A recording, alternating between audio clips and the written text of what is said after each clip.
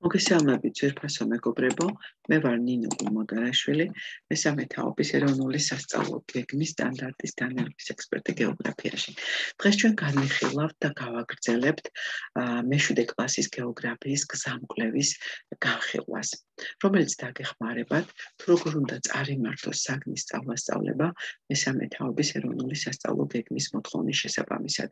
რა თქმა უნდა, ჩვენს მიერ წარმოქმნილი სცენარები ეს არის მხოლოდ და მხოლოდ სარეკომენდაციო თქვენ შეგიძლიათ იგივე პრინციპებზე დაყრდნობით შექმნათ თქვენეული მასალა და განსხვავებული შინაარსის გაკვეთილები წარმოადგინოთ. გზამკვლევი ძირითადად ეფუძნება გრიფირებულ სახელმძღვანელოებს და აქედან გამომდინარე ძირითად რესურსად აღებული არის გრიფირებული სახელმძღვანელო, ჩვენ შემთხვევაში ბაქოს სულაკაურის გამომცემლობით, მაია ბლიაძის და დავით კერესელიძის ავტორობით, მეშვიდე კლასის გეოგრაფიის პირველი და მეორე ნაწილი. ასევე ძირითადი რესურსი არის ტელესკოპის გაკვეთილები და წარმოგიდგენთ აგრეთვე დამატებით რესურსებსაც.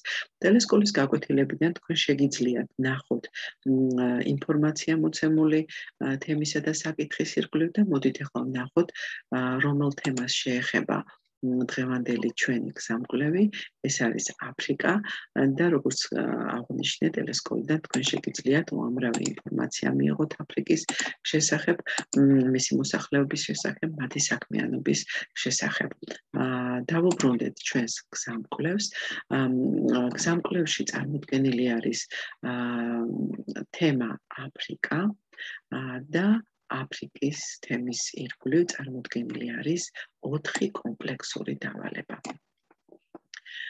კვლევის ანგარიშის დაწერა საჰარის უდაბნოს ჩამოყალიბებასთან დაკავშირებით, პრეზენტაციის შექმნა აღმოსავლეთ აფრიკის რიფტურყევასთან დაკავშირებით, ინფოგრაფიკის შექმნა აფრიკის მოსახლეობის საქმიანობასთან დაკავშირებით და ფიშბოლის დიაგრამის შექმნა საჰელის რეგიონში გაუდაბნოების პროცესთან დაკავშირებით. თუ დააკვირდებით, ყველა კომპლექსურ დავალებას ყველას უწერია სამიზნე ცნებები და თუ კიდევ უფრო მეტად დავაკვირდებით, ნახავთ, რომ ყველა სამიზნე ცნებაში მეორდება გეოგრაფიული კვლევა და ანალიზი. ყველა კომპლექსურ დავალებაში მეორდება გეოგრაფიული კვლევა და ანალიზი და რატო? იმიტომ რომ ჩვენი საგანი ძირითადად კვლევითი საგანია და ალბათ არ არსებობს გეოგრაფიაში ისეთი საკითხი, რომელიც კვლევის ელემენტებს არ მოიცავდეს და შესაბამისად ეს მუშავდება ნებისმიერი საკითხის, ნებისმიერი კომპლექსური დავალების დროს და შესაბამისად მოსწავლეებს უვითარდებათ კვლევითი უნარები. რაც შეეხება მეორე სამიზნე ცნებას, რომელიც მოცემული არის თვითონ კომპლექსურ დავალებაში, ეს არის გეოგრაფიული გარსი, ეს არის გეოგრაფიული მოვლენა პროცესი, მოსახლეობა შრომითი მეურნეობა და მდგრადი განვითარება. და ჩვენ ვიცით რომ ახალი სტანდარტის შესაბამისად და გეოგრაფიაში წარმოქმნილი არის 4 სამიზნე ცნება ეს არის გეოგრაფიული გარსი, მოვლენა პროცესი, მოსახლეობა მეურნეობა და მდგრადი განვითარება და როგორც აღნიშნე, გეოგრაფიული კვლევა და ანალიზი ყველგასთან მუშავდება და ამიტომ არის გამჭოლი ეს სამიზნე ცნება. და აა როგორც ხედავთ თქვენ კომპლექსურ დავალებებს ერთ რამეზე მინდა მიგაქცევინოთ ყურადღება, თუმცა წერია პარაგრაფები ყველა კომპლექსურ დავალებას და ეს ის შესაბამისი პარაგრაფები არის, რომელიც დაგეხმარება თქვენ კონკრეტული კომპლექსური დავალების დამუშავების დროს. რაც შეეხება თემა ავსტრალიას და თემა ანტარქტიდას, ეს თანდათან იქნება მოცემული და თანდათან მოგეწოდებათ. ჩემ შემთხვევაში კი ახლა მე განვიხილავ მესამე კომპლექსურ დავალებას, რომელიც ყვითელი ფერით არის ნიშნული. ეს არის ინფოგრაფიკის შექმნა აფრიკის მოსახლეობის საქმიანობასთან დაკავშირებით და სამიზნეცნებად აღებული არის გეოგრაფიული კვლევა და ანალიზი და მოსახლეობა და მეურნეობა. ჩვენი მოცემული თემიდან, თემა აფრიკიდან, თავარ საკითხად აღებული არის მოსახლეობა შრომითი რესურსი. სავარაუდო საათები არის 14-დან 16-მდე და ქვემოთ კი აი აქ მოცემული არის სახელმწიფოს პირველი და მეორე ნაწილი შესაბამისი გვერდებით და შესაბამისი პარაგრაფებით და ჩვენ შეგვიძლია დავათვალიეროთ ახლა ის შესაბამისი პარაგრაფები და შესაბამისი გვერდები ხო რომელიც მოცემული არის ჩვენს გზამკვლევში. აქაც არის მოცემული აფრიკის მოსახლეობის და თქვენ შეგიძლიათ გამოიყენოთ ეს როგორც ძირითადი რესურსი. ახლა კი გადავიდეთ შემდეგ ეტაპზე, უკვე კონკრეტულად კომპლექსური დავალების დამუშავებაზე. კომპლექსური დავალებაში ძირითადად ეხება ძირითადად მოსახლეობას და შრომით რესურს ძირითად საკითხად, როგორც აღნიშნეთ, აღებული არის ეს საკითხი, რომელიც არის მიმართული სამიზნე ცნებაზე, მოსახლეობა და მეურნეობა და სადაც უნდა დამუშავდეს შემდეგი შედეგი, მე-7, მე-8 და მე-9 შედეგი, რომელიც ჩვენი სტანდარტიდან არის აღებული. თუ დააკვირდებით აქ ხედავთ რომ ძირითადად საკითხის ქვემოთ უწერია ქვე საკითხები. ეს არის მოსახლეობა, მოსახლეობის სტრუქტურა, დემოგრაფია, შობადობა, მოგდაობა, ბუნებრივი მატება, დემოგრაფიული პოლიტიკა, მოსახლეობის ზრდის ტემპი, დემოგრაფიული აფეთქება, მიგრაციის სალდო, მთლიანი შიდა პროდუქტი, სიცოცხლის საშუალო ხანგრძლივობა, წერა-კითხვის დაბალი დონე და მეურნეობის დარგები და ხედავთ რომ ყველა თითქმის ყველა საკითხი არის რომელიც უშუალოდ მოსახლეობას შეეხება და თანმიმდევრული ნაბიჯებით. ეტაპობრივად თვითოული საკითხი არის გასახილველი უნდა დამუშავდეს რომ შესაბამისად მოხდეს ძირითადი საკითხის დამუშავება. და შესაბამისად მოხდეს ჩვენს გრძელვადიან მიზნებზე გასვლა კონკრეტულად კი ჩვენ სამიზნე ცნებაზე გასვლა. თუ შემოთ მოცემული არის ასეთ ასევე ქვეცნება. თქვენ იცით და რა ერთხელ აღნიშნე რომ ჩვენი სამიზნე ცნება არის მოსახლეობა და მეურნეობა ეს არის განზოგადებული და კონკრეტულად მისი ქვეცნება კი არის წარმოქმნილი ქვეცნებად არის წარმოქმნილი შრომითი რესურსი ეხლა კი განვიხილოთ კომპლექსური დავალების პირობა. აა კომპლექსური დავალების პირობა ასეთია. აფრიკა კონტრასტების კონტინენტია, სადაც ველური ბუნება და ანთროპოგენური ლანდშაფტები ერთმანეთს ენაცვლება. დიდრები და ღარიბები ერთმანეთის გვერდიგვერდ ცხოვრობენ. აფრიკა სასარგებლო წიაღისეული სიმდიდრითა და სიმრავლით გამოირჩევა. მიუხედავად ამისა, აფრიკა უღარიბეს კონტინენტად რჩება. ციღარიბისაგან თავის დაღწევა კი გაეროში შემოვალი ქვეყნების მდგრადი განვითარების ერთ-ერთი მნიშვნელოვანი გამოწვევაა. წარმოიდგინეთ, რომ ხართ გაერთიანებული ერების ორგანიზაციის წარმომადგენელი და ონლაინ კონფერენციისთვის დაგევალათ აფრიკის რეგიონის მოსახლეობის დასაქმების შესახებ ინფორმაციის დამუშავება და ინფოგრაფიკის შექმნა. ხედავთ რომ კომპლექსური დავალება საკმაოდ დავალების პირობა საკმაოდ დატვირთულია. ზოგადი ინფორმაცია არის მოცემული აფრიკის მოსახლეობის შესახებ მასის მათი სოციალური მდგომარეობის შესახებ აფრიკის სასარგებლო წიაღისეულის შესახებ და ეხლა ჩვენ უნდა მოსწავლემ უნდა შეისწავლოს აფრიკის რეგიონის მოსახლეობის დასაქმების შესახებ ინფორმაციის დამუშავება უნდა მოახდინოს და უნდა შექმნას პროდუქტი ინფოგრაფიკის სახით და უნდა წარმოადგინოს ეს მთლიანი ინფორმაცია საგნობრივი ცოდნა ინფოგრაფიკის სახით. ინფოგრაფიკში რა უნდა წარმოაჩინოს და ძირითადად და რას უნდა მიაქციოს ყურადღება, რომელსაც ჩვენ შეფასების კრიტერიუმებს ვეძახით, აი ეს ჩვენი შეფასების კრიტერიუმები ძირითადად გამომდინარეობს ჩვენი სამიზნე ცნების კვიდრი წარმოდგენებიდან. როგორც იცით, მოსახლეობას და მეურნეობას აქვს სამი მკვიდრი წარმოქმნა. პირველი მკვიდრი წარმოქმნა არის ბუნებრივი გარემო გავლენას ახდენს მოსახლეობასა და მეურნეობაზე. სხვადასხვა ქვეყანაში მოსამეურნეობის ესა თუ ის დარგია წამყვანი, რაც შრომის გეოგრაფიულ დანაწილებას განაპირობებს. მეორე მკვიდრი არის მოსახლეობისა და მეურნეობის სტრუქტურა, განაწილება და განლაგება ცვალებადია დროში და სივრცეში და მესამე არის სახელმწიფო გავლენას ახდენს ქვეყანაში მიმდინარე სოციალურ-ეკონომიკურ პროცესებზე. როგორც ხედავთ, ესეც არის განზოგადებული კონკრეტულად და მართლაც ასეა დამეთანხმებით იმაში, რომ გეოგრაფიული გარემო გავლენას ახდენს ნებისმიერი ქვეყნის მოსახლეობის განვითარებაზე, მათ სოციალურ მდგომარეობაზე, ასევე ყველაფერი ცვლადია, როგორც დროში და სივრცეში, დინამიკაშია ყველაფერი და ასევე მოსახლეობას და მათი სამეურნეო სტრუქტურას და ასევე ქვეყნის განვითარებაზე მოსახლეობის სოციალური თუ ეკონომიკური მდგომარეობის გაუმჯობესებაზე ზრუნავს სახელმწიფო. ეს არის ზოგადად წარმოქმნილი სამიზნეცნების მკვიდრ წარმოქმნებში. ეხლა ჩვენ უნდა შევქმნათ ისეთი შეფასების კრიტერიუმები, რომელიც იქნება შესაბამისობაში სამიზნეცნების კვიდრ წარმოქმნასთან და მოდით ახლა ვნახოთ როგორ არის წარმოქმნილი ჩვენს ხმიგზამკვლევში ეს შეფასების კრიტერიუმები.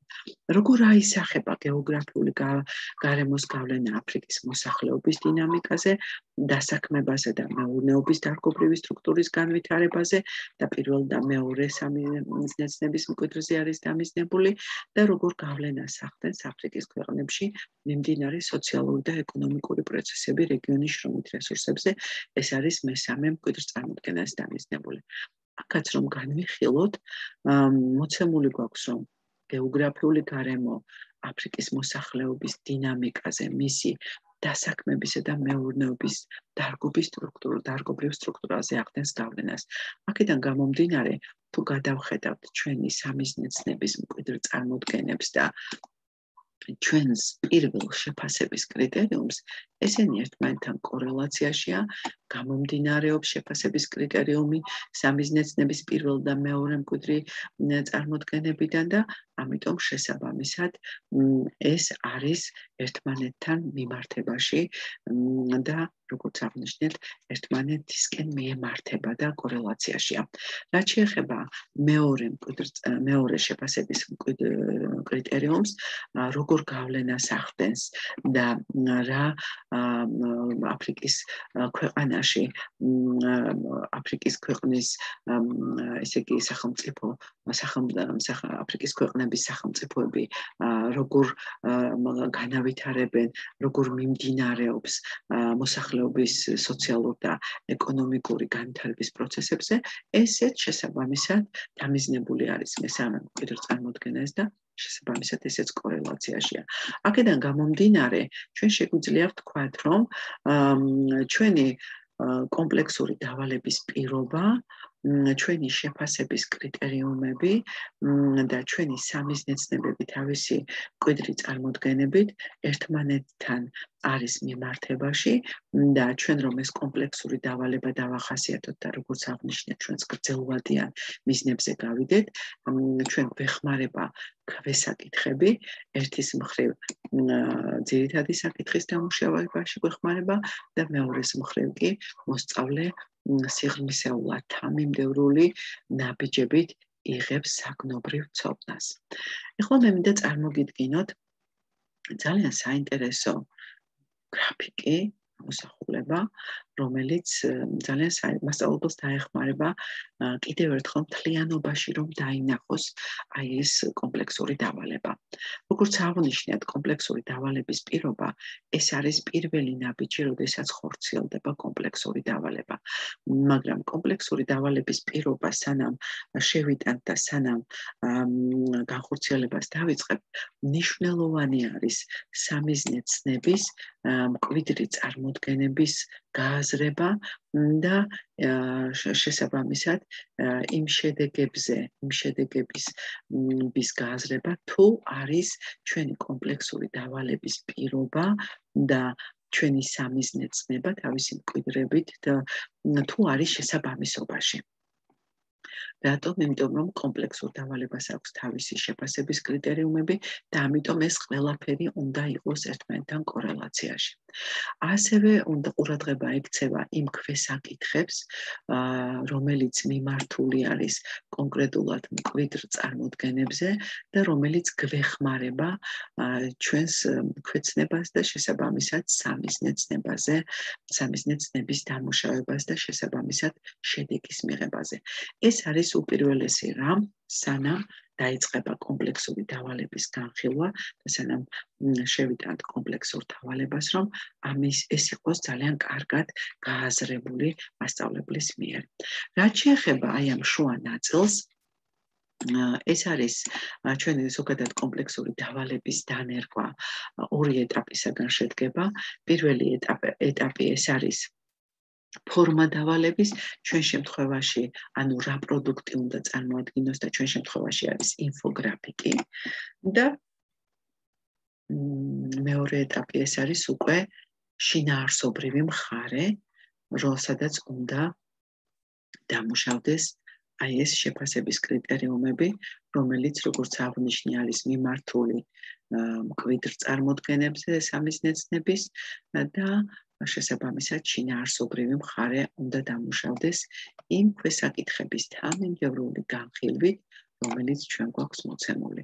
თუ ეს ნაბიჯები იქნება სწორად დაგეგმილი, სწორად შეტანილი და განხორციელებული, მერწმუნეთ რომ ჩვენი კომპლექსური დავალება წარმატებით იქნება განხორციელებული და მოსწავლეების ძალიან დიდი ინტერესიც იქნება. როგორც აღნიშნეთ, პირველი ეტაპი ეს არის დავალების ფორმა და მეორე ეტაპი შინაარსობრივი მხარე. აი მეორე ეტაპში უკვე არის ნაბიჯები წარმოქმნილი და ეს ნაბიჯები აქტივობებით არის, ხო? აქტივობები არის, რა აქტივობებს ვიყენებთ და ეს ნაბიჯები არის შეიძლება იყოს ერთი ნაბიჯი, ორი ნაბიჯი გააჩნია, ახლა კლას გააჩნია, რას გაძლევთ შესაბამისი მოცემულობა, შესაბამისი დავალება, დავალება. ჩვენ შემთხვევაში არის პირველი ნაბიჯი არის დაახლოებით ორი გაკვეთილი წარმოქმნილი, მეორე ნაბიჯი არის სამი გაკვეთილი წარმოქმნილი. შეიძლება ეს როგორც გითხარით, ეს შეიძლება თქვენ თვითონ მოარგოთ კლას და კლასიდან გამომდინარე რა გაქვთ აი მის მიხედვით გააკეთოთ, შეიძლება ერთი ერთი დაგჭირდეთ, შეიძლება სამი დაგჭირდეთ, მაგალითად პირველი ნაბიჯის პირველი ნაბიჯის შესრულებისთვის და ეს არის შესაბამისად მოცემული აქტივობები, რა აქტივობებს ჩვენ გეგმავთ, რომ ეს ყველაფერი, რასაც რაც თქვით, რაც ახსენეთ პირველი ეტაპი იქნება თუ მეორე ეტაპი, თანმიმდევრული, თანმიმდევრულად დამუშავდეს. თანმიმდევრულ დამუშავებაში და გააზრებაში კი დაგვეხმარება ჩვენი საკვანძო შეკითხვა, რომ როგორ დავაფიქრო საზოგადოება ინფოგრაფიკის საშუალებით, როგორ გავლენას ახდენს გეოგრაფიული გარემო მოსახლეობის დასაქმებასა და მეურნეობის სტრუქტურაზე. ხო? ეს ყველაფერი არის რაღაც ცხრილი, რომელიც ერთმთლიანობა წარმოგვიდგენს, აი ეს მოცემულობა, რომ რა ეტაპები უნდა გავიაროთ, სად რა გვაქვს ჩვენ თვითონ მასშტაბლებს გასააზრებელი და როგორ უნდა დავგეგმოთ ჩვენი კომპლექსური დავალება და მოდით ახლა კონკრეტულად გადავიდეთ კომპლექსური დავალების შესრულებაზე. როგორც აღნიშნეთ, პირველი ეტაპი ეს არის კომპლექსური დავალების ფორმა.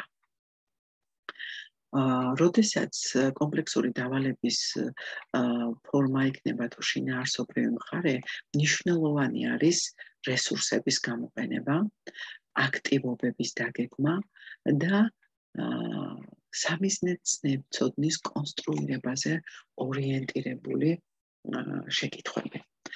ჩვენ ვიცით, რომ რესურსები ეს ეს არის უნიშნელოვანესი რამ რესურსების შექმნა, რესურსების გამოყენება, როგორც აღნიშნე ჩვენი გზამკვლევი ძირითადად ეფუძნება სახელმწიფოს რესურსებს, მაგრამ სანამ შინაარსობრივ რომელშიც ძირითადად წარმოქმნილი არის შინაარსობრივი მხარე და სანამ შინაარსობრივ მხარეზე გადავიდოდეთ, მოსწავლეებისთვის აი უნიშნელოვანესი არის რომ მოსწავლემ ცხადად იცოდეს, გარკვევ იცოდეს რა სახის პროდუქტი უნდა შექმნას, რას ითხოს მასწავლებელი მისგან, რა სახით უნდა წარმოადგინოს ეს დავალება და ამიტომ ჩვენი პირველი ეტაპიც კომპლექსური დავალების ფორმა და გაკვეთილის პირველი გაკვეთილიც სწორად ამას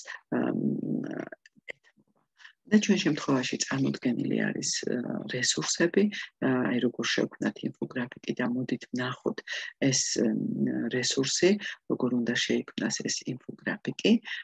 და შემდეგ შემდეგ გადავიდეთ დანარჩენ საკითხებზე. მაგალითად არის ასეთი რესურსი. როგორ შევქმნათ ინფოგრაფიკი, გეოგრაფიის გაკვეთილზე ინფორმაციის მოძიების, დამუშავების, გამოყენებისა და გაანალიზებისთვის კარგი საშუალება არის ინფოგრაფიკის შექმნა.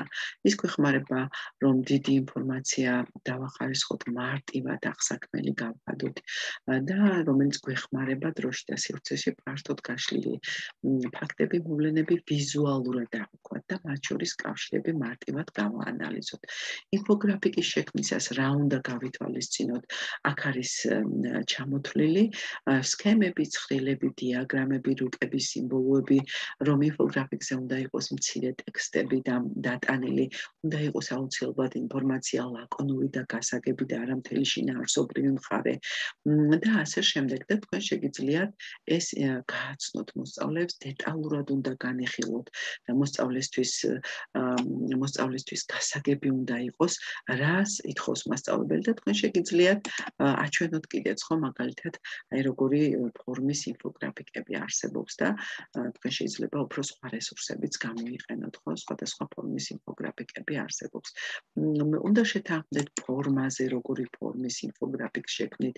უნდა იცოდეთ ვინ რომელ სად შექმნის ზოგმა შეიძლება ელექტრონული ვერსია გამოიყენოს, ზოგმა შეიძლება ფორმატის ქაღალდი ფორმატზე დაიტანოს და იქ გააკეთოს ფორმატით გააკეთოს ეს ინფოგრაფიკი.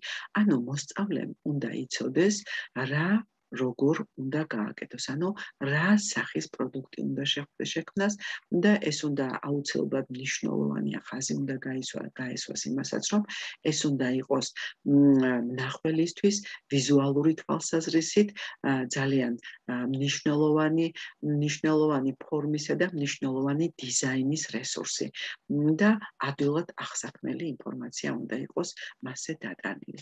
ეს არის ჩვენი კომპლექსური დავალების პირველი ეტაპი და როდესაც ამას გააცნობთ, თქვენ შეგიძლიათ აი ეს მთავარი מחასიათებლები გამოყოთ ამ აი ამ რესურსების რესურსის გაცნობის შემდეგ, რომ დეტალურად განეხილოთ თითოეული ნაბიჯი ინფოგრაფიკის შექმნისთვის და შემდეგ კი შეგიძლიათ მოსწავლეებთან კითხვებით, აბა რა არის ინფოგრაფიკი, ერთ გადაამოწმოთ, რამდენად იციან, რამდენად გაიგეს მოსწავლეებმა, რა სახის პროდუქტი უნდა შექმნათ, რა არის ინფოგრაფიკი, როგორი არის ინფოგრაფიკის სტრუქტურა, რა უნდა გავითვალისწინოთ ინფოგრაფიკზე მუშაობის დროს და როგორ უნდა შევქმნათ ინფოგრაფიკი და რა ნაბიჯები უნდა გადაიდგას და თუ დააკვირდებით თქვენ ამ კითხვებს, უბრალოდ ცოდნის სამ კატეგორიაზე არის აგებული ეს რამდენიმე კითხვა დეკლარატიულ პროცედურულ და პირობისეულ ცოდნაზე და ყველა ჩვენს მიერ განხილულ ნაბიჯებში ჩვენს მიერ ჩვენს მიერ განხილულ და დასმული კითხვები სწორედ ამ ცოდნის კონსტრუირებაზე უნდა იყოს ორიენტირებული რომ მოსწავლის მოსწავლემ შეძლოს აი ეს წინარე ცოდნაზე არსებულ ცოდნაზე პატარა ნაბიჯები გადადგას და განვითარების მცირე ნაბიჯები წავიდეს თანდათან წინ და შექმნას რესურსის, შექმნას სინარსობრივი მხარეს და მიიღოს შესაბამისი ცოდნა. როდესაც უკვე დავრწმუნდებით, რომ აი ეს ყველაფერი მოსწავლისთვის ცხადია, რომ მოსწავლე მიცის უკვე რომ რომელი რესურსი უნდა შექმნას, ხოლო შემდეგ გადადიხართ მეორე ეტაპზე, სადაც უკვე კონკრეტულად შინაარსობრივი მხარე უნდა განიხილოთ. და ესეც ნაბიჯებად არის გაწერილი ჩვენი შინაარსობრივი მხარე და პირველი ნაბიჯი რა არის? როგორ აისახება გეოგრაფიული გარემოს გავლენა აფრიკის მოსახლეობის დინამიკაზე დასაქმებასა და დასაქმებასა და მეურნეობის დარგობრივი სტრუქტურის განვითარებაზე. ეს არის სწორედ ჩვენი კომპლექსური დავალების შეფასების პირველი კრიტერიუმი, ხო? პირველი რაც უნდა მოსწავლემ წარმოაჩინოს და ჩვენ ახლა უნდა აი ამ კრიტერიუმზე, აი ამ შეფასების კრიტერიუმზე ვისაუბროთ. აქაც წარმოდგენილი არის რესურსები, როგორც გითხარით, ძირითადად სახელმწიფოდან არის აღებული წარმოდგენილი რესურსები, მითითებული არის შესაბამისი გვერდები და თქვენ შეგიძლიათ თქვენს სახელმწიფოდანში ნახოთ ეს გვერდები. მაგალითად, პარაგრაფი ეს არის პირველი ნაწილიდან სოფლიო მოსახლეობის რიცხოვნობა ზოგადი ინფორმაცია არის სანამ კონკრეტულ ინფორმაციაზე გადახვიდოდით გვერდი 111-114 მე პარაგრაფი 25 მოსახლეობის სტრუქტურა ზე არის საუბარი პარაგრაფ 26 მოსახლეობის სიმჭიდროვეზე და დასახლების ფორმებზე არის საუბარი და მეორე რესურსად უკვე აღებული არის სახელმწიფოს მეორე ნაწილი კონკრეტულად უკვე აფრიკის მოსახლეობის შესახებ ინფორმაცია 60-78 პარაგრაფი არის აფრიკის მოსახლეობის შესახებ გაცდით ინფორმაციას. აქვე წარმოდგენილი არის ძალიან საინტერესო რესურსები. ეს არის რუკები და ნახოთ ახლა ჩვენ ეს რუკები, როგორი არის მთლიანი შიდა პროდუქტის განაწილება აფრიკაში და ეს არის ზოგადად მოცემული ინფორმაცია და თქვენ შეგიძლიათ რომ კონკრეტულად კონკრეტულად ნახოთ აფრიკის კონტინენტის შესახებ, ხო? აქ მოგვერდით აქვს პატარა მინიშნება, სადაც შეგიძლიათ და ჩვენ ახლა კონკრეტულად აი აფრიკა ავიღოთ და აი ნახეთ როგორ არის როგორ იზრდება და თუ ამას დინამიკაში მოვიყვანთ მთლიანი შიდა პროდუქტის მოცულობა და ნახат წლების მიხედვითაც შეგვიძლია მაგალითად 2017 წელს როგორი იყო რომელ ქვეყნებში მაგალითად 2000 როგორი სიტუაცია იყო აი რაღაცა აი როგორი სიტუაცია იყო დაუშვათ აი ამ წელს შესაბამის წელს და ასე შემდეგ. ხო დინამიკაში მოდის ეს არის 2017 წლამდე და თქვენ შეგიძლიათ განიხილოთ და ნახოთ როგორი არის აფრიკაში მთლიანი შიდა პროდუქტის განაწილება. ასევე არის მეორე ძალიან საინტერესო რესურსი, ესეც იგივენაირად არის აქ ჩვენ კონკრეტულად შეგვიძლია მსოფლიო ნახოთ, როგორ არის სოფლის მეურნეობის დასაქმების სტრუქტურა, შემოსახლეობის წილი და ჩვენ შეგვიძლია კონკრეტულად აფრიკაში ნახოთ და ამასაც დინამიკაში თუ მოვიყვანთ, ნახავთ, სად არის ყველა ყველაზე პროცენტული პროცენტები არის გამოსახული და სად არის ყველაზე მეტად აი 100%-ით სომალიში ყოფილა. არის ძირითადად დასაქმებული მოსახლეობა და დინამიკაში შეგიძლიათ მოიყვანოთ და გამოიყენოთ ძალიან საინტერესო და კარგი რესურსი არის. ეს რესურსი ამ რესურსები რომელიც თქვენ შეგიძლიათ შესაბამისი პირველი ნაბიჯის დამუშავების დროს. ახლა ნახოთ რა რა აქტივობები არის გამოყენებული აი ამ გამოყენებისთვის, აი ამ რესურსების გამოყენებისთვის, პირველად არის ასოციაციური რუკის შედგენა სიტყვაზე დემოგრაფია, ხო ეს? მეორე აქტივობად არის წარმოქმნილი გეოგრაფიული ტექსტის ანალიზი და კონკრეტულად მითითებული არის 24 და 25 პარაგრაფი გეოგრაფიის სახელმძღვანელოს პირველი ნაწილიდან, ხო? ანუ ტექსტი უნდა სახლებების სიმჭიდროვეზე და მის რაოდენობაზე ანალიზი გააკეთოს. მესამე აქტივობა არის სტრატეგია ფინგო. ახალი ტერმინები თუ გააზრების შესწავლისთვის. მეოთხე აქტივობა არის გეოგრაფიული ამოცანების ამოხსნა. ესეც პირველი ნაწილი პირველი სახელმწიფოს პირველი ნაწილის დავალებებიდან შეგიძლიათ გამოიყენოთ და მოსახლეობის სიმჭიდროვის ბუნებრივი და მექანიკური მოძრაობის მექანიკური მოძრაობის გასააზრებლად და მეხუთე კიდევ არის მონაცემთა დამუშავება. აი ეს ანალიზი ინტერაქტიული რუკის თემატური რუკების ცხრილების და დიაგრამების დიაგრამების დამუშავების შედეგად რომელიც გაჩვენეთ ხო აი ეს რუკები რომ ნახეთ აი ეს რუკები შეგიძლიათ გამოიყენოთ ანალიზი გაუკეთოთ და კიდევ არის ერთი აქტივობა რომელიც არის კოგნიტური სქემების კოგნიტური სქემების შექმნა გეოგრაფიული ტექსტის გააზრების და მონაცემთა ანალიზის დამუშავების საფუძველზე. როგორც ხედავთ, აქტივობები საკმაოდ მრავლად არის წარმოქმნილი. თქვენ შეგიძლიათ კიდევ გადაგხვდათ და სხვა აქტივობებიც დაამატოთ და მოდით ახლა გადავიდეთ უკვე სამიზნე ცოდნის კონსტრუირებაზე ორიენტირებული შეკითხვები, როგორ არის დაალაგებული და გააზრებული. რა შეისწავლის დემოგრაფია? როგორ გამოითლება მოსახლეობის სიმჭიდროვე. რას უწოდებენ урბანიზაციას, რას უწოდებენ მოსახლეობის დინამიკას, რა არის მოსახლეობის ბუნებრივი მოძრაობა, რა არის მიგრაცია, რას უწოდებენ დემოგრაფიულ აფეთქებას, რომელ პარამეტრებს ეყრდნობა ჰუმანური განვითარების ინდექსი, როგორ გამოითვლება ბუნებრივი მატება, რა გავლენას ახდენს ქვეყნის მიგრაციული პროცესები ბუნებრივ მატებაზე, როგორ როგორი მიგრაციების კონდა ადგილი აფრიკის რეგიონიდან წარსულში, როგორი ტიპის მიგრაციებია დღეს, როგორის გამოყენებით იმსჩელე, როგორი მაჩვენებლები აქვს აფრიკის მოსახ აფრიკის რეგიონის ქვეყნებს ჰუმანური განვითარების ინდექსის მიხედვით. აფრიკის რეგიონის რომელი ქვეყნები გამოირჩევიან ყველაზე დაბალი და მაღალი შემოსავლებით, მთლიანში და პროდუქტის სიდიდით ქვეყნის მასშტაბით. რა არის აფრიკის რეგიონის მოსახლეობის ძირითადი საქმიანობა? რა არის აფრიკის ქვეყნების ჰუმანური განვითარების ინდექსის დაბალი მაჩვენებლების მთავარი მიზეზი? რა ფაქტორებმა განაპირობებს ბესაფრიკის რეგიონის მოსახლეობის სამეურნეო საქმიანობის ტიპები. რა გავლენას ახდენს აფრიკის ქვეყნებში არსებული სიღარიბე რეგიონის მოსახლეობის რაოდენობას და ბუნებრივ მატებაზე? რა გავლენას ახდენს გეოგრაფიული გარემო პირობები ადგილობრივი მოსახლეობის სამეურნეო საქმიანობაზე? როგორ არის დაკავშირებული ადგილობრივი მოსახლეობის სამეურნეო საქმიანობა მათ ყოველდღიურ ცხოვრებასთან?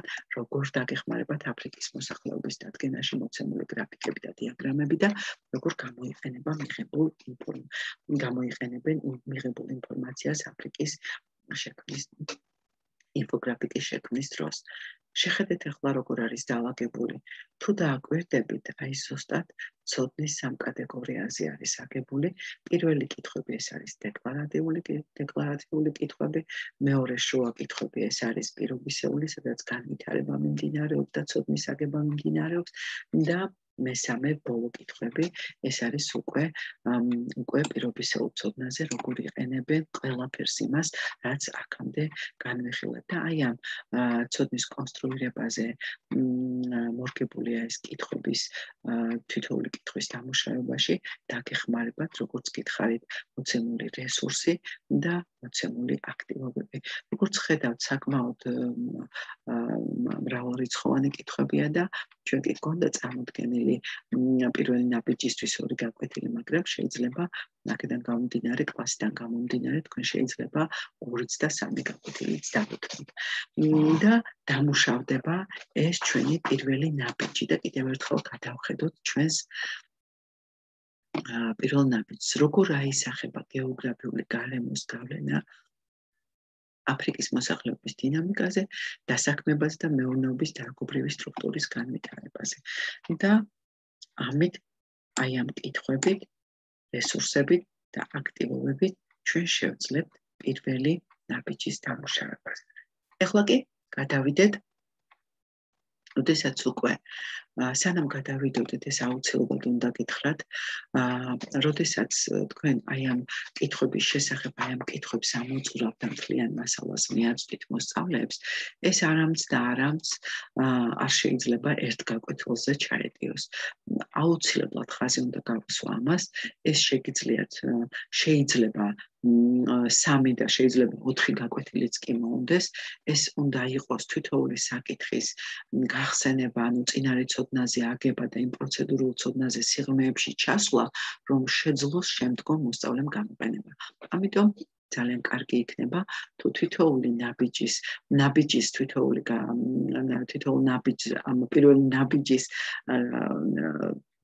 როდესაც დააყოფთ გაკვეთილება და როდესაც წარმოადგენთ ძალიან მნიშვნელოვანი არის გარკვეული კითხვების შემდეგ მოსწავლეებს დავალება მისცეთ. აუცილებელია ეს დავალება ჯერ ერთი რომ რა გაიგეს, როგორ გაიგეს, ხომ საინტერესოა, ხო? და ამიტომ აქედან გამომდინარე, როდესაც თქვენ აი ამ კითხვებს განახორციელებთ, მასალას ახსნით და ნახავთ ბავშვებმა როგორ გაიგეს თქვენს მიერ მიწოდებული მასალა, შემდეგ უნდა მისცეთ აუცილებლად საშინაო დავალება. რამდენ გაკვეთილსაც დაუთმობთ პირველ ნაბიჯს, იმდენი საშინაო დავალება უნდა მისცეთ. და საშინაო დავალების წარდგენის დროს აუცილებლად უნდა იყოს მასზე კომენტარი. შეიძლება გაკვეთილზეც წააკითხოთ რამოდენიმეს და შეხედოთ როგორ ამბობენ თუ არა და დღეს ჩვენ გვაქვს ძალიან მშვენიერი შესაძლებლობა Teams-ში გადმოგიგზავნონ მოსწავლეებმა Teams-ში და ყოველ დავალებას ქვემოთ უნდა ჰქონდეს თქვენი განმავითარებელი შეფასების კომენტარი. რაც აქვს მოცემული ეს კარგია და რაც დაგაკლდათ, რაც დააგაკლდათ, რომ მოსწავლემ განვითარების რაღაც გარკვეული ნაბიჯები გადადგას, ეს უნდა მიუთითოთ მოსწავლეს, რომ კარგი იქნება ყურადღება გაამახვილოს ამ საკითხზე, უფრო სიღრმეებში წავიდეს, ხო, უფრო დაფიქრდეს ამ საკითხზე, ხო, აი ეს მსგავსი და მსგავსი კომენტარები უნდა გაუკეთოთ თვითონ დავალებას. ეს გიჩვენებთ თქვენ და დაგანახებთ თქვენ რა განვითარებისკენ მიდის თქვენი მოსწავლე, რა ნაბიჯებს დგავს ზოგადად და როგორ იღებს კიდევ ამასთან ერთად საგნობრივ ცოდნას. შეუძლია თუ არა მან რაღაცა გარკვეული სტრატეგიები გამოიყენოს აი ამ თავისი დავალებისთვის, დავალების სასაგებად. ან და ასე შემდეგ. და ეს არის უნიშნელოვანესი რამ, როდესაც ჩვენ აი ამ კომპლექსურ დავალებებს ვახორციელებთ, საშინაო დავალებები და ჩვენი განმავითარებელი განმავითარებელი კომენტარები, რომელიც მოსწავლეს ეხმარება კიდევ ახალი ნაბიჯის გადადგმაში. ახლა კი გადავიდეთ, როდესაც უკვე ამოვწურავთ თლიანად პირველ ნაბიჯს, ახლა გადავიდეთ მეორე ნაბიჯზე. როგორ გავლენას ახდენს აფრიკის ქვეყნებში მიმდინარე სოციალური და ეკონომიკური პროცესები რეგიონის შრომით რესურსებზე? ეს შეგახსენებთ რომ ეს არის ჩვენი შეფასების მეორე კრიტერიუმი და რომელიც მესამე სამიზნეცნების მესამე მკვიდრ წარმოქმნაზე არის დამიზნებული ხო ის და დამუშავდეს. აქაც ჩვეულებრივად რესურსად წარმოქმნილი არის სახელმწიფო პარაგრაფი 24 გვერდი 24 პარაგრაფი გვერდი 114 თქვენ შეგიძლიათ ნახოთ ეს არის და მეორე არის არის სახელმწიფოს მეორე ნაწილი აფრიკის პოლიტიკური რუკა პარაგრაფი 39 და თქვენ შეგიძლიათ თქვენს სახელმწიფოებში პირველ და მეორე ნაწილში ნახოთ ეს რესურსები და ასევე არის გამოყენებული დამატებითი რესურსი, შრომითი რესურსი და ნახოთ მოდით ახლა ეს რა რესურსი არის, უბრალოდ რა არის შრომითი რესურსი, განმარტება არის მოცემული, რომ უკეთესად გაიგონ მოსწავლეებმა შრომით რესურსზე რაზე ვსაუბრობ და თქვენ შეგიძლიათ ეს კიდევ უფრო გაამრავალფეროვნოთ და აუხსნათ მოსწავლეებს დეტალურად, ხო? აი ამ შრომით რესურსებთან დაკავშირებით. აქტივობებით შესაბამისად არის მოცემული არის გეოგრაფიული ტექსტის ანალიზი, როგორ მოიპოვეს დამოუკიდებლობა აფრიკის ქვეყნების უმრავლესობა სობამ და როგორია მათი სოციალური და ეკონომიკური მდგომარეობა და მეორე არის დისკუსია საჭიროა თუ არა დემოგრაფიული პოლიტიკის გატარება.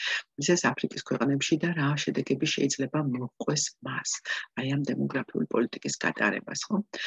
და ცოდნის კონსტრუირებაზე არის შემდეგი კითხვები. რას ნიშნავს დემოგრაფიული აფეთქება? რა არის დემოგრაფიული პოლიტიკა? რა სახის დემოგრაფიული პოლიტიკის გატარებაა საჭირო აფრიკის ქვეყნებში? ვინ ითვლება შრომით რესურსად? რა განაპირობებს მოცემული ქვეყნების განვითარების დაბალტონეს? რთუქსმენია შენს ქვეყანაში გახორციელებული მსგავსი ღონისძიებების შესახებ და რა შედეგებს მოუტანს დემოგრაფიული პოლიტიკის განხორციელება აფრიკის ქვეყნებს? როგორ ასახავ ინფოგრაფიკში სოციალურ-ეკონომიკური პროცესების შედეგებს აფრიკის შრომით რესურსებზე და როგორც ხედავ, აქაც ცოდნის სამ კატეგორიაზე არის აგებული ეს კითხვები და დეკლარატიული ცოდნა პროცედურული ცოდნისკენ და ნაბიჯ-ნაბიჯ ხდება აგება ცოდნის. და თუ ჩვენ ესე იგი დავამუშავებ აი ამ თანმიმდევრული ნაბიჯებით, მაშინ მაშინ დამუშავდება შესაბამისად მეორე ნაბიჯიც და როგორც პირველი ნაბიჯის დროს აქაც რამდენ გაკვეთილსაც მოუნდებით და რა რომელ საკითხებსაც, რომელ კითხვებსაც იმუშავებ და რომელ მასალაზეც იმუშავებ შესაბამისად დავალებები უნდა მისცეთ მოსწავლეს და შესაბამისად უნდა განმავითარებელი კომენტარი გაუკეთოთ ყველა დავალებას, რომ მოსწავლემ დაინახოს კონკრეტულად რა სიტყვის მისგან მასწავლებელი და რა ნაბიჯი უნდა გადადგას წინ, რომ უკეთესად და უკეთესად გააკეთოს. აა როგორც გითხარით, აი ამ თანმიმდევრული ნაბიჯებით მუშავდება ჩვენი კომპლექსური დავალება და მე ახლა მინდა ერთხელ კიდევ გადავხედო ამ ყველაფერს, რომ კომპლექსურ დავალებაში ძირითადად გრიფირებული სახელმწიფოები არის გამოყენებული გამოყენებული კონკრეტულ გზამკვლევში მოცემული არის კონკრეტული პარაგრაფების შესაბამისი გვერდებით სახელმწიფოდან რომ კომპლექსური დავალებაზე დავალების მნიშვნელოვანი ნაწილი არის კომპლექსური დავალების პირობა და მისი შეფასების კრიტერიუმები, მისი ქვესაკითხები, რატომ? იმიტომ რომ რომელიც შესაბამისობაში უნდა იყოს სამიზნეცნებასთან და მის მკვიდრ წარმოდგენებთან, რატომ? იმიტომ რომ მოხდეს თანმიმდევრულად ნაბიჯ-ნაბიჯ დამუშავება და გრძელვადიან მიზანზე გასვლა და კომპლექსური დავალება. კი ეს არის საშუალება რომელიც გვაძლევს ჩვენს გრძელვადიანი მიზნების შესრულებისკენ მიმავალ გზაზე გვიწყობს ხალს ხო და ახლა კი და შემდეგ განვიხილეთ ჩვენ მშვენიერი გრაფიკი, რომელიც მთლიანობაში მასშტაბებლისთვის გასააზრებლად როგორ ხორციელდება კომპლექსური დავალება და რას უნდა მევაქციოთ ძირითადად ყურადღება. და შემდეგ უკვე ნაბიჯები არის. პირველი ნაბიჯი რომ პირველი ეტაპი რომ ეს არის კომპლექსური დავალების ფორმა და მეორე ეტაპი რომ ყოველთვის კომპლექსური დავალების შინაარს ეხმიანება და ეს შინაარსები უკვე ნაბიჯი ნაბიჯებად არის გაწერილი, რამდენი ნაბიჯი დაჭirdება კომპლექსური დავალების შინაარსის დამუშავებას. რამდენი შეფასების კრიტერიუმიც გვექნება, იმდენი შესაბამისი ნაბიჯი იქნება. ჩვენ შემთხვევაში არის ორი შეფასების კრიტერიუმი და ჩვენს მოცემულ დავალებაშიც არის ორი ნაბიჯი. ნახეთ რესურსები, რომელიც მრავლად არის გამოყენებული და ამ რესურსების, ამ აქტივობების და ამ შესაბამისად კონსტრუირებაზე აღებული კითხვების დამუშავების შედეგად კომპლექსური დავალება დამუშავდება და შესაბამისად მივიღებთ შედეგსაც. ახლა კი მე მინდა ყურადღება გავამახვილო შეფასებაზე, რომელსაც ჩვენ სოლო ტაქსონომიას მეძახით, ვიცით რომ ეს ხუთი დონისაგან შედგება, რა თქმა უნდა ჩვენს ჩვენ მოსწავლეებს ამ დონეების მიხედვით არ ვესაუბრებით, პრესტრუქტურულ და ინსტრუქტორულ დონეზე არ ვსაუბრობთ მოსწავლეებთან, ჩვენ გვჭირდება და ყურადღებას ვამახვილებთ აი ამ კონკრეტულ კითხვებზე, რომელიც გვაძლევს და გვაჩვენებს როგორ მუშაობს ჩვენი მოსწავლე და რომელ დონეზე შეუძლია გასვლა. აღწერეთ როგორ წარიმართა დავალებაზე მუშაობის პროცესი, აღწერე რა პროდუქტი შექმენი, რა საკითხი შეეხება შენს მიერ მომზადებული დავალება. ახსენი რატომ შექმენი ინფოგრაფიკი, რისი თქმა გინდოდა მისი საშუალებით, რატომ ფიქრობ რომ შენს მიერ შექმნილი პროდუქტი ნამდვილად ინფოგრაფიკია. შენი აზრით ვინ უნდა დაინტერესდეს შენს მიერ შექმნილი კომპლექსური დავალების და რატომ რა დაბრკოლებებს წაწყდი დავალებაზე მუშაობის პროცესში რას გააკეთებდი სხვაგვარად ახლა რომ იწყებდი დავალებაზე მუშაობას, მსგავსი ფორმის აშინაარსის დავალება სხვა დროს თუ შეგისრულებია შენი აზრით, რით გავს და რით განსხვავდება შენი დავალება?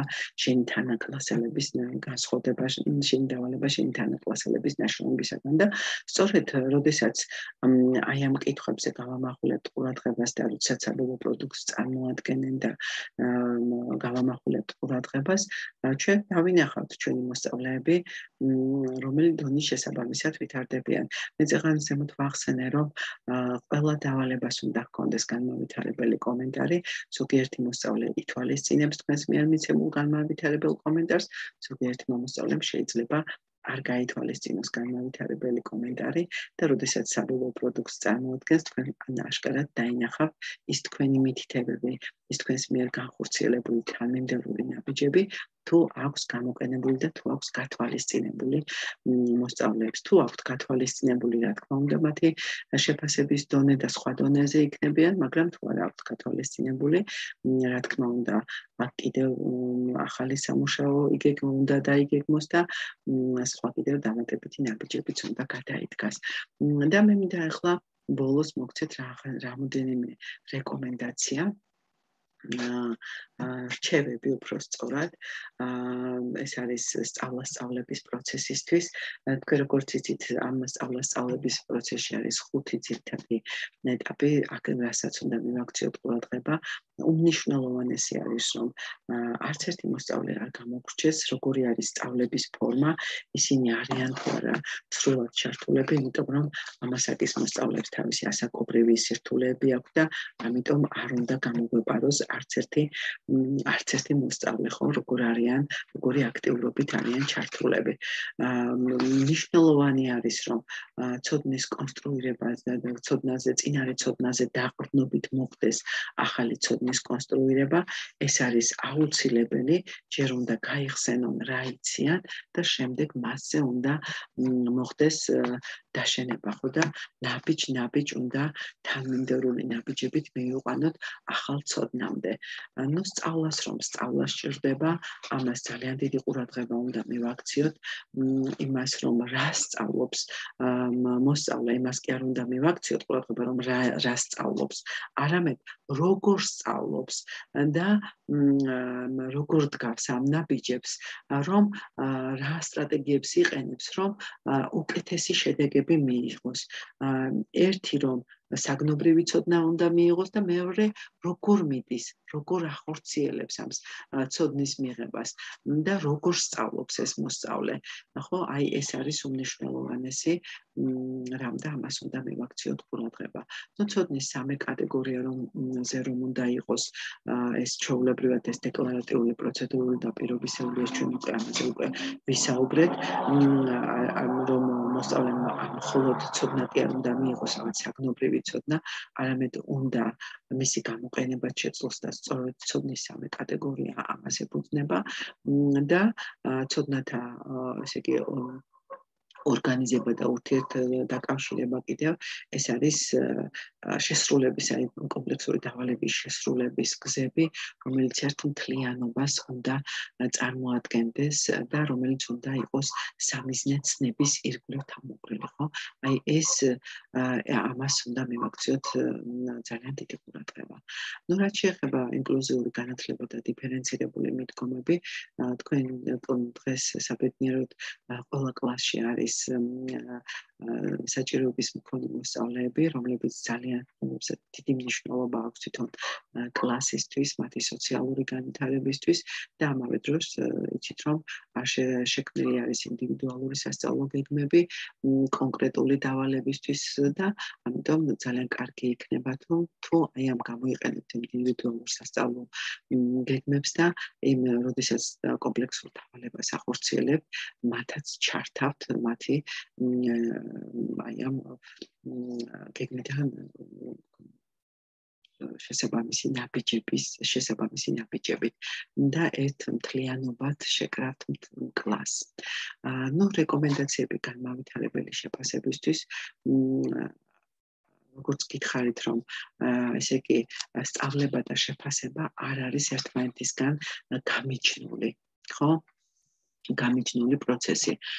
ჩვენ მე ვახსენე რომ როდესაც დავალებას აძლევთ ერთის მხრივ მოსწავლე ცოდნას იძენს და მეორეს მხრივ ვაცლებთ მას შეფასებას, განმავითარებელ შეფასებას. ეს განმავითარებელი შეფასება ისეთი ფორმის უნდა იყოს, რომ მოსწავლეს გაუჩნდეს სურვილი, რომ კიდევ მეტად გაამახვილოს ყურადღება და ახალი ნაბიჯი გადადგას. ხო, რომ ესე იგი დაინახოს თვითონ სადგას. ეს ეხმარება მოსწავლეს საკუთარი თავის დანახვაში და ამიტომ ამ რეკომენდაციებს თქვენს მიერ გაცემულ რეკომენდაციებს უდიდესი მნიშვნელობა აქვს, ხო? ეს იქნება მიმდინარე თუ მიმდინარე პროცესში და მთელი კომპლექსური დავალების შეფასების დროს მთელი განხორციელების დროს შეფასება არის უმნიშვნელოვანესი სადა მოსაშინაო დავალებების შეფასება აი ამ თქვენი კომენტარებით ხო? და ნუ საბოლოოდ რა თქმა უნდა როდესაც საბოლოო პროდუქტს წარმოადგენს ეკა შეგვიძლია თუ კერუნდისაც უკვე განსაზღვროთ ჩვენ დავინახოთ ჩვენი მოსწავლე რომელ დონეზე დგას. როგორ შეირჩეს რესურსები საგნისთვის? თქვენ ძალიან კარგად იცით რომ რესურსებს ძალიან დიდი მნიშვნელობა აქვს ერთის მხრივ და მეორეს მხრივ არის კიდევ როგორ მიდის ეს რესურსები მსმენელამდე ხო? ჩვენს მოსწავლეებამდე. ძალიან კარგი იქნება რომ აი ამ რესურსებში საკაკუთილო პროცესში ამბები საინტერესო ამბები საინტერესო მასალები იქნეს გამოყენებული. რა თქმა უნდა სახელმწიფო როგორც ერთ-ერთი რესურსი ისე უნდა იყოს გამოყენებული და არა ერთადერთი რესურსი. და უფრო საინტერესო და მრავლის მომცველი გახადოთ რესურსების გამოყენებით აი ეს საკაპიტალო პროცესი. უმნიშვნელოვანესი არის კიდევ მშობლების ჩართულობა. მშობელი აფასებს რამდენად ერთობა მოსწავლეს სწავლების პროცესში, რამდენად კომფორტულად გრძნობს თავს. ყოველთვის გქონდეთ მშობელმა უნდა იცოდეს, რომ როგორი არის მოსწავლის მოსწავლე რა სწავლობს, როგორ სწავლობს, როგორ განვითარებას გადის ეს ყველა მშობელს აინტერესებს. ამიტომ მშობლამდე უნდა იყოს მიტანილი რას ემსახურება ეს თქვენი კომპლექსური დავალება, რაზე შეიძლება რა უნარები უვითარდება აი ამ კომპლექსური დავალების შესრულების დროს ეს უნდა დაინახოს კონკრეტულად მშობლებმა, რომ გარდა საგნობრივი ცოდნისა მოსწავლეს კომპლექსური დავალების შესრულების დროს ის რომ სხვადასხვა კომპეტენციები უვითარდება პიროვნული კომპეტენცია, მეთოდოლოგიური კომპეტენცია, სოციალური კომპეტენცია და ეს უნდა მშობელს აეხსნას და დაინახოს აი ამ სწავლების პროცესში, აი ამ კომპლექსური დავალების არსი, რაზე გადის და როგორ როგორ უნარებს იძენს და რა კომპეტენციებს იძენს მისი შვილი და როგორ უნდა შეუწყოს ხელი ამ პროცესში მშობელმა. ეს არის უმნიშვნელოვანესი რამ. და შემდეგ არის დისტანციური სწავლებისთვის ეს სასწავლო პროცესი ძალიან სამწუხაროა, მაგრამ დღეს ამ რეალობის წინაშე ვართ. შესაბამისად ჩვენი სასწავლო პროცესი ანუ საგაკვეთილო პროცესი შემცირებული არის და შეეცადეთ რომ დაწუროთ და ძირითადად არსი გამოიტანოთ და ის ნაბიჯები თანმიმდევრულად მოხდეს არ მოხდეს ისე რომ რადგან დისტანციური სწავლება და თითო გაკვეთილი არის გეოგრაფიაში რაღაცა მასალის ერთობლივად მიცემა და მთლიანად მიცემა რომელსაც მოსწავლე ვერ გაიაზებს სჯობს რომ ეტაპობრივად ეს დაწურული მასალა მისცეთ თანდათან რომ მოსწავლემ შეძლოს გააზრება და გაცნობიერება რასაკეთებს და ძალიან მნიშვნელოვანი არის თვითონ სასკოლო სკოლის კულტურის საორგანიზაციო კულტურის ჩამოყალიბება, ყველა სხვადასხვა გამოცდილება გვაქვს, ყველა სხვადასხვა სხვადასხვა უნარები გვაქვს და ამ გამოცდილებისა და უნარების და რჩევების მიცემა ერთმანეთისგან ძალიან მნიშვნელოვანი არის. ეს არის ის რისი თქმაც მინდოდა თქვენთვის ის რჩევები რომელიც შეიძლება გაითვალისწინოთ ის შეფასების შეფასება როგორ უნდა მოხდეს მოსწავლის რომ არა მხოლოდ ბოლო ეტაპზე ფასდება მოსწავლე არამედ როგორც აღნიშნეთ მთელი კომპლექსური დავალების განხორციელების დროს ეტაპობრივად მუდმივად მიმდინარეობს შეფასება და განვიხილეთ როგორც თემა აფრიკა კონკრეტულად მესამე კომპლექსური დავალება აფრიკის მოსახლეობის საქმიანობასთან დაკავშირებით. ამით გემშვიდობებით გისურვებთ წარმატებებს და მომავალ შეხვედრამდე.